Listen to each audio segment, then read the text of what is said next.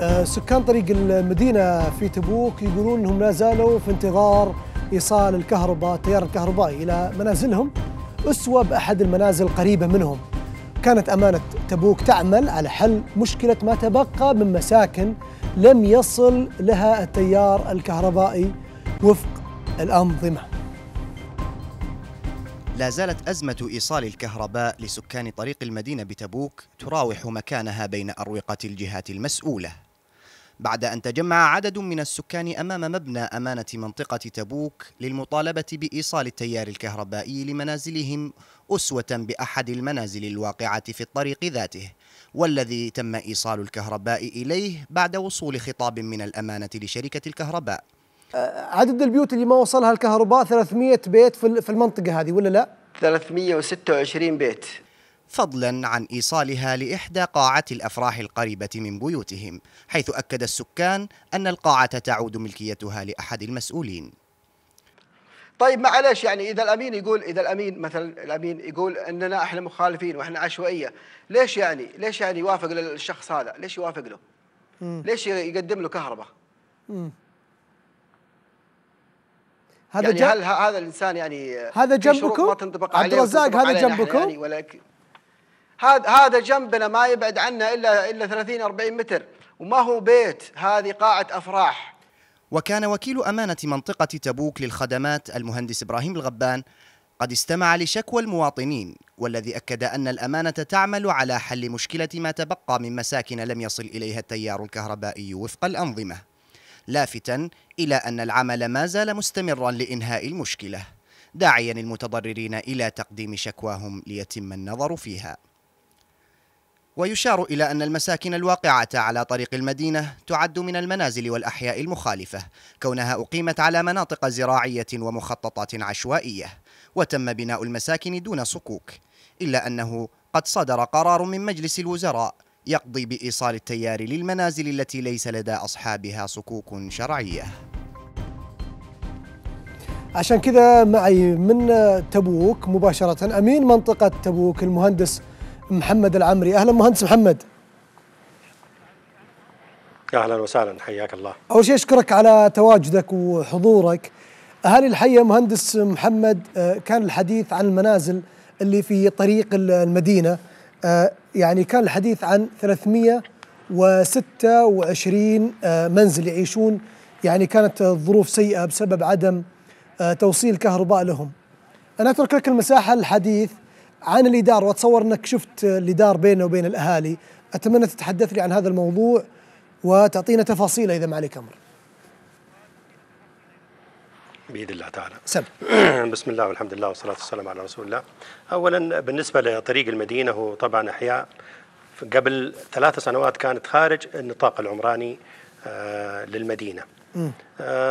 ينتشر فيها مباني بشكل عشوائي نتيجة أنها آه، الرقابة عليها بتكون ليست من قبل آه، الأمانة من قبل جهات اللي هي تختص في أعمال الزراعة تحديدا. آه، ما حصل آه، هناك عدد كبير جدا من المباني من المخططات اللي تم اللي تم توزيعها إلى قطع سكنية صغيرة وبيعها بأساليب مخالفة لكل الانظمه والتعليمات اللي هي عن طريق نوعين من الصكوك صك شامل يبيعها بواسطة آه، آه، ورقة مكتب عقاري ويصدقها من الغرفة التجارية ويعتبر إنه هذا هو الصك. النوع الثاني صك مشاع يبيعه ألف متر آه، في المحاكم طبعا آه، تفرغ لألف متر غير محدد كأنه إيه. متشارك في على سبيل المثال اسمح لي لو قلت هذا المثل بعير متشارك فيه مئة شخص. ما ي- عمرها ما حيتوزع هذا البعير إلى مئة واحد لا. كل البعير للمئة شخص. آه، ما حصل أنه لا. عند المحكمة أنه صك مشاع وفي الداخل هو مخطط معمول ومباع قطعة محددة ب يعني بعين بعينها بالتحديد. ويطلع عليها صك وصاحب الصك المشاع يعرف أنه له قطعة. في حين أنه أمام المحاكم لا. آه، طبعا سعة الأمانة لحل إشكالية عدد كبير جدا من المنازل اللي موجودة هناك. تصل قرابة 2500 منزل. فطبعا سعينا أكثر من يمكن أربع خمس سنوات حتى انه تم تصحيح وضع الجماعة هذول في على طريق المدينة. وأدخل جزء كبير جدا إلى النطاق العمراني على أمل أن أصحاب هذه المخططات يتم تصحيح أوضاعهم. أنه بحيث ي- يراجع الأمانة يقدم مخطط نسميه تهذيبي عندما يكون في مباني قائمة في مخططه أو اللي بيخطط جديد يسوي مخطط تنظيمي. بحيث أنه يترك مساحات للخدمات اللي هي زي المدارس والمساجد والخدمات كل أنواع الخدمات اللي موجودة. طيب. الطرق طيب. المساحة التخطيطية ل 33% إن أذنت لي إن أذنت لي مهندس إن أذنت لي مهندس فطبعا عدد البيوت. لا أبغاك تأذن لي مهندس تسمح لي. أه 2500 منزل أدخلتم لها الكهرباء. هذا خلال ثلاث سنوات. لا عدد المنازل اللي موجودة في المنطقة بكاملها 2584 منزل. اللي يدخل لها الكهرباء والمنازل هذه لعلمك ليست منازل فقط هي منازل أنت تتكلم عن آه تقريبا آه 1601 منزل والباقي كلها استراحات يعني 800 يمكن استراحة. فالمجموع كله 2584 طيب. استراحة ومنزل. أدخلتم اللي تم إيصال التيار الكهربائي لها نعم. أدخلتم لكم الكهرباء مهندس؟ إلى 2258 منزل. مهندس طيب 326 أسرة. أنا اذنت لي 326 أسرة. نعم. عندها معاناة الآن. اللي طلع معايا الأخ المسعودي اللي طلع معايا يقول إنه 326 أسرة نعم. تعيش أوضاع غير طبيعية بسبب إنكم أنتم يا الأمانة ما دخلتوا لهم الكهرباء. صحيح. اسمح اسمح لي طال عمرك إنه ال 326 ليست منازل معظمها. نص العدد هذا استراحات والنص الثاني هو عبارة عن منازل ما زال في عندي أنا طبعا الأمر السامي الكريم إيه؟ في اشتراطات لعملية انه ما يعني اشتراطات تقريبا سبعة ثمانية اشتراطات إنه لابد انها تنطبق على الجماعة هذول حتى أنا أوصل له تيار كهربائي إيه؟ وما زال عندي أنا التقديم شغال إلى اليوم لل 186 اللي هي المنازل تحديدا والاستراحات 326 ما وقفنا قلنا إنه والله ممنوع نوصل 100% اطلاقا وإلا لما توصل ل 2258 منزل في مهندس يعني الآن البيوت اللي ما فيها كهرباء ما وصلها كهرباء 186 فقط؟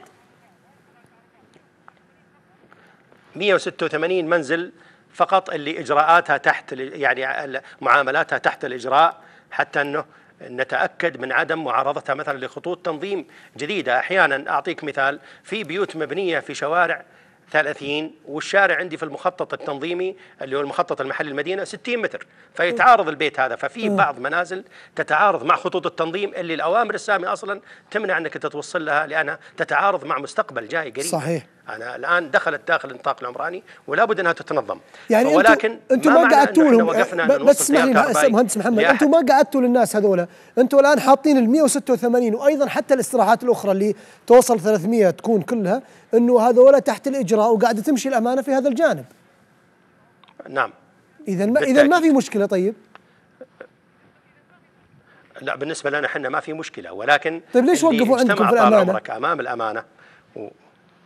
أبى أقول لك أنا شيء واحد. طال عمرك اللي وقف في الأمانة آه يعني متصدر الجماعة عبد الرزاق محمد المسعودي اللي طلع معكم في ال في ال في ال في البرنامج آه، الراصد. آه هذا الشخص يسكن في حي المصيف لعلمك. واللي موجود له عبارة عن استراحة خلف شركة تويوتا بطريق المدينة وليس منزل نهائيا. هو كان يتكلم في البرنامج أنه والله ذبحوا البرد وذبحوا الحر نتيجة أنه ما عنده ويشغل على موتور كهرباء أو شيء من القبيل. طيب هو ساكن في حي ساكن في داخل المدينة وليس هناك. في طبعا ناس تسعى دائما وابدا لتشغيل استراحاتها. وليس لأنها منازل يسكن فيها. النوع الآخر أصحاب مخططات أنا عندي عدد المخططات المخالفة اليوم 72 مخطط. في تبوك؟ جالس يحاول بشتى الوسائل يبيع في تبوك نعم في نفس المنطقة هذه نفسها. 72 مخطط أهم خدمة يبغاها الكهرباء. إذا وصلت الكهرباء معناها باع مخططه آه، بالعشوائية اللي هو جالس يشتغلها. فإحنا طيب. لابد أنه برضه إن أذنت لي مهندس إذا, إذا بيعت المخططات بهذه العشوائية نعم. مين في الأخير بيتورط؟ مو الأمانة أنتم بتكونون قدام الناس بيقولون أنتم اللي خليتوا الناس تدخل. ترى بتتحملون المسؤولية إذا 72 مخطط. أنت يا سع... يعني مهندس محمد قاعد تقول 72 مخطط هذا عدد مو بسيط في مدينة زي تبوك. نعم. 72 مخطط يمكن على الأقل عدد الأراضي اللي حيكون فيها في حدود 7200 منزل. هذا الكلام طبعا أنا الإجراءات اللي عندي ما زالت أمامي هذه القطع زراعية وليست سكنية. أيه؟ الإجراء أنه لابد يتقدم صاحب الأرض اللي عندنا حتى أنه يقلبها من زراعي إلى سكني اولا، ثم نطالع في عملية التخطيط والنسب التخطيطية وأنه نعتمد المخطط ويقدم الخدمات ويتنازل عن الخدمات الضرورية وبالتالي طيب. يقدر يبيع المواطن بصكوك شرعية. مهندس ال 186 منزل آه، هي في طور أنكم تدخلون لها الكهرباء وتنتهي هالمشكلة معاهم خلال كم اذا بالتأكيد. اذا اذا اذا, إذا تعطيني تاريخ ال 186 ممكن يوصل منهم 90% يتوصل لكهرباء 10% قد يتعارض مع خطوط التنظيم اللي أنا ذكرتها لك. أي خلال كم؟ فبالتالي لا هذول لابد إنه يشوف له حل. فأنا أتصور إنه خلال شهر من اليوم كله راح ينتهي الموضوع هذا بالكامل. ممتاز. فأنا المعاملات لا تنقطع لعلمك يعني. مهندس محمد. فما معناها إنه عندي 300 أنا عندي يمكن 300 بس في الأمانة. وعندي يمكن ألف في, في, في المحافظات. طيب. فكلها تحت الإجراء. يوميا إحنا عندنا تقديم طلبات وعندنا لجان وضعناها جميل. لدراسة كل طلب من الطلبات. إذا خلال شهر مهندس محمد يعدكم يا آه، آه، ال 186 بيت الموجودة. إن شاء الله أنه 90% من مشاكلكم. إن شاء الله إلى زوال. أنا مهندس محمد آه، قلت لك الكلام هذا بيني وبينك والآن أقول لك أمام الناس وقلت قبل كذا أنت مذكور بخير في تبوك وفي مشاريع كبيرة جدا تتم وأنت موجود على رأس الأمانة. آه، أشكر لك دائما هذا التجاوب وكمان أقدم لك شكر كثير من الأهالي اللي يشكرون فيك. حتى الناس اللي كانوا ضدك كانوا يقولون إنه في مشاريع كبيرة جدا قامت من الأمانة لمدينة تبوك. شكرا لك مهندس محمد العمري أمين آه، مدينة تبوك. يعطيك العافية. أشكر لك هذا الظهور وهذه الشجاعة يا سيدي.